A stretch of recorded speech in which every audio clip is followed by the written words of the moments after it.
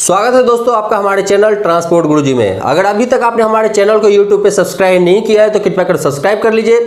अगर आप ये वीडियो को फेसबुक पे देख रहे हैं तो आप पेज को लाइक और अगर आप ये वीडियो हमारे आई टीवी इंस्टाग्राम पे देख रहे हैं तो वहाँ पे भी हमारे पेज को फॉलो कर सकते हैं। तो दोस्तों, अभी तक जो मैंने वीडियो बनाया था, अभी लास्ट टाइम से मैं कुछ कुछ जो वीडियो लेकर के आ रहा था, वो सेल से रिलेटेड था। मुझे आशा है कि मैंने जो आपको सेल से रिलेटेड जो मैंने आपको वीडियो बना करके दिया है, उससे आपको कुछ ना कुछ आपके बिज़नेस में फ़र्क पड़ा होगा। या फिर अगर आप उसको इंप्लीमेंट करते हैं सही से तो आपके बिज़नेस में फ़र्क पड़ सकता है। तो दोस्तों, अभी का जो हमारा सेगमेंट है, जो अभी हम स्टार्ट करने वाले हुए गाड़ियों के इंश्योरेंस क्लेम गाड़ियों के लोन के बारे में। इसमें मैं अलग अलग चीज़ें बताऊँगा, इससे रिलेटेड जो है पाँच छह वीडियो मैं बना करके दूँगा, जो कि इस पूरे महीने ये वीडियो चलेगा पाँच छह वीडियो जो मैं बनाऊँगा। और मुझे आशा है कि इससे भी आपको जो है कुछ ना कुछ जानकारी ज़रूर मिलेगी, कुछ ना कुछ आपको अलग जानकारी ज़रूर मिलेगा। तो दोस्तों, आज का जो हमारा वीडियो है, वो है इंश्योरेंस से रिलेटेड गाड़ियों के इंश्योरेंस से रिलेटेड गाड़ियों के इंश्योरेंस में first party insurance second party insurance third party insurance से रिलेटेड है। तो दोस्तों, पहले हम फ़र्स्ट पार्टी इंश्योरेंस जो है, उसको हम अलग करते हैं और second party third party insurance के लिए बात करते हैं। लेकिन सबसे पहली बात आती है कि हम इंश्योरेंस करवाएँ क्यों? ज़रूरत क्या इंश्योरेंस करवाने का गाड़ियों का? तो दोस्तों, मैं आपको बता दूँ कि मोटर व्हीकल एक्ट के अंतर्गत आपको थर्ड पार्टी इंश्योरेंस लेना अनिवार्य है आपकी गाड़ी के लिए, ताकि आपके गाड़ी से किसी की, किसी का भी प्रॉपर्टी अगर डैमेज होता है या फिर कोई व्यक्ति घायल होता है या आपकी आपके व्हीकल से किसी की मौत हो जाती है तो उस कंडीशन में इंश्योरेंस कंपनी जो कि आपका सेकेंड पार्टी होता है, वो उस लॉस को कवर करे और जो भी बीमा से रिलेटेड जो उनका पैसा होता है, आर्थिक मदद होता है, वो कर पाए।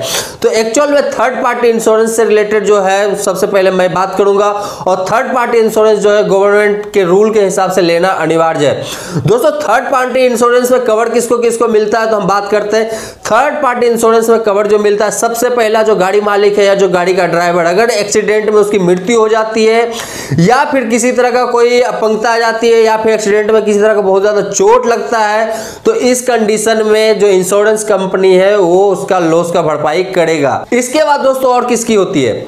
इसके बाद दोस्तों, अगर आपका जो गाड़ी है, वो सवारी गाड़ी है और आपके गाड़ी में और लोग बैठे हुए हैं तो इस कंडीशन में जो आपके गाड़ी में लोग और बैठे हुए हैं, उसका भी इंश्योरेंस कवर जो है, आपकी थर्ड पार्टी इंश्योरेंस के अंदर आता है। उसमें भी जो किसी तरह का अगर कोई लॉस होता है, किसी की मृत्यु होती है तो इसका भी जो क्लेम होता है, वो इंश्योरेंस कंपनी आपको देगा मतलब उन लोगों को मिलेगा इंश्योरेंस कंपनी के तरफ़ से।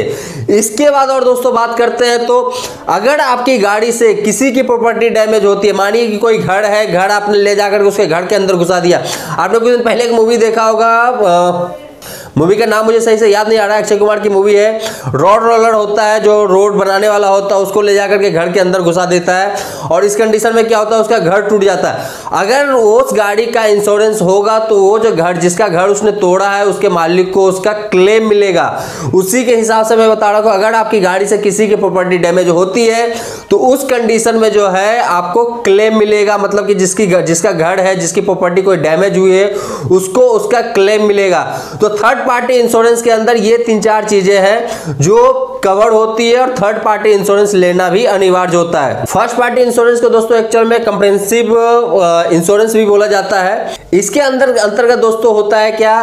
कि आपकी जो गाड़ी है उस गाड़ी का इंश्योरेंस होता है, उस गाड़ी के पार्ट्स का इंश्योरेंस होता है और उससे रिलेटेड आप क्लेम कर सकते हैं। जबकि थर्ड पार्टी इंश्योरेंस में ये कवर नहीं होता है। लोग क्या करते हैं? प्रीमियम से बचने के लिए सिर्फ़ थर्ड पार्टी इंश्योरेंस करवाते हैं फ़र्स्ट पार्टी इंश्योरेंस वो लोग करवाते ही नहीं है। इस कंडीशन में कभी उनकी गाड़ी चोरी हो जाती है, जल जाती है, कुछ हो जाती है तो उनके गाड़ी का जो इंश्योरेंस कवर होता है, जो क्लेम होता है, वो उनको नहीं मिल पाता है। तो अगर आप गाड़ियों का इंश्योरेंस करवाते हैं तो थर्ड पार्टी के साथ साथ फ़र्स्ट पार्टी भी फ़र्स्ट पार्टी भी करवाइए। ऐसे फ़र्स्ट पार्टी जो है, वो मैंडेटरी नहीं है करवाना बट अगर आप दोनों एक साथ लेकर के चले तो अच्छी बात है। अगर आप दोनों करवाते हैं तो इससे क्या होगा कि आपका जो गाड़ी है, अगर किसी तरह से कुछ क्षति होती है तो उसका जो क्लेम है आपको मिल सकता है। अदरवाइज़ अगर वो गाड़ी एक्सीडेंट हुई है या कुछ हुआ है और अगर उसका इंश्योरेंस नहीं करवा रखा है आप तो आपको अपने पैकेट से वो पैसा देना पड़ेगा। तो फ़र्स्ट पार्टी इंश्योरेंस में दोस्तों क्या है? आपके गाड़ी के पार्ट्स पार्ट्स के कलपुर्जे जो उसके होते हैं अलग अलग बड़े बड़े जो कलपुर्जे होते हैं, उसके अलग अलग वैल्यू पे ले जाकर के उसका क्लेम दिया जाता है, जिसको कि एक तरह से बोला जाए तो अप्रोक्सीमेट जो उसका जो वैल्यू होता है डिप्रिसिएशन के हिसाब से 75 परसेंट दिया जाता है। और ये जो है company by company insurance company by company vary करता है। हर इंश्योरेंस कंपनी एक वैल्यू नहीं देता है, कोई इंश्योरेंस कंपनी कोई अलग वैल्यू देता है, कोई इंश्योरेंस कंपनी कुछ अलग वैल्यू देता है। बट ये जो इंश्योरेंस वैल्यू है, ये थोड़ा थोड़ा चेंज होता रहता है। अगर दोस्तों एक लाइन में बोला जाए फ़र्स्ट पार्टी इंश्योरेंस में तो फ़र्स्ट पार्टी इंश्योरेंस अगर आपके गाड़ी का कोई पार्ट्स डैमेज होता है तो उसका कवर आपको मिलेगा। दूसरा, अगर गाड़ी आपकी चोरी हो गई है, या फिर पूरी तरह से नष्ट हो गई है तो उसका क्लेम मिलेगा। या फिर आपके गाड़ी का कोई उपकरण खराब हो गया तो उसका भरपाई मिलेगा। तो ये तीन चार चीज़ें जो है दोस्तों, ये फ़र्स्ट पार्टी इंश्योरेंस के अंदर आता है।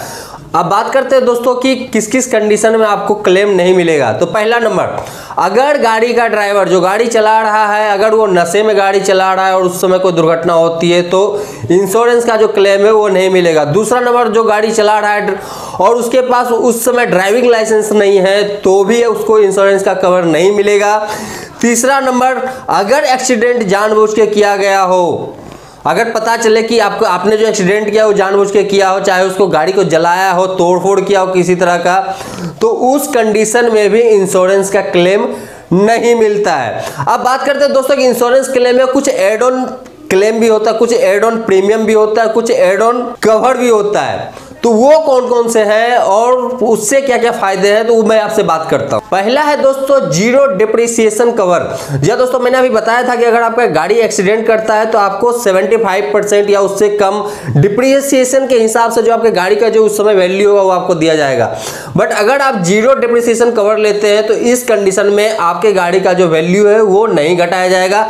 जो आपके गाड़ी का वैल्यू होगा, वही आपको दिया जाएगा। ये एक्चुअल में एक एड ऑन वैल्यू है। जो अलग से आपको प्रीमियम के साथ एड करना होता है। दूसरा होता है दोस्तों रिटर्न टू इनवाइस कवर इसमें क्या होता है दोस्तों, अगर आपकी गाड़ी चोरी हो गई है या नष्ट हो गई है तो उस कंडीशन में आप अगर आप इनवाइस देते हैं तो आपके इनवाइस के वैल्यू के हिसाब से आपको उस गाड़ी का जो कीमत होगा वो आपको अदा किया जाएगा। तीसरा दोस्तों होता है इंजन प्रोटेक्शन कवर अगर आपके गाड़ी के इंजन में किसी तरह की खराबी है उसको बदलना है या फिर और कुछ करना है तो उस, उसको आप दोस्तों क्लेम के ज़रिए आप बदलवा सकते हैं या फिर आप उसका रिपेयरिंग करवा सकते हैं। चौथा है दोस्तों रोड साइड असिस्टेंस कवर इसमें क्या दोस्तों अगर आपकी गाड़ी कहीं एक्सीडेंट हुई है एक्सीडेंट होने के बाद कभी कभी क्या होता है कि वहाँ पे इंश्योरेंस वाले टाइमली नहीं पहुँच पाते हैं या फिर और कुछ पंगा हो जाता है बट ये कवर आप लेते हो तो आपका जो इंश्योरेंस कंपनी है, वो ऑन टाइम आपको वहीं पे पहुंचेगा और जितनी मदद हो सकती है, वो इंश्योरेंस कंपनी आपको वहीं पे करेगा। इसके अलावा भी दोस्तों और बहुत सारे एड ऑन कवर होते हैं बट ये जो है, ये मेन है जो मैंने आपको बताया है। अगर इससे रिलेटेड और भी कुछ जानकारी आपको पता होगा, अगर जो मैंने नहीं बता पाया तो आप हमारे कमेंट बॉक्स में बता सकते हैं।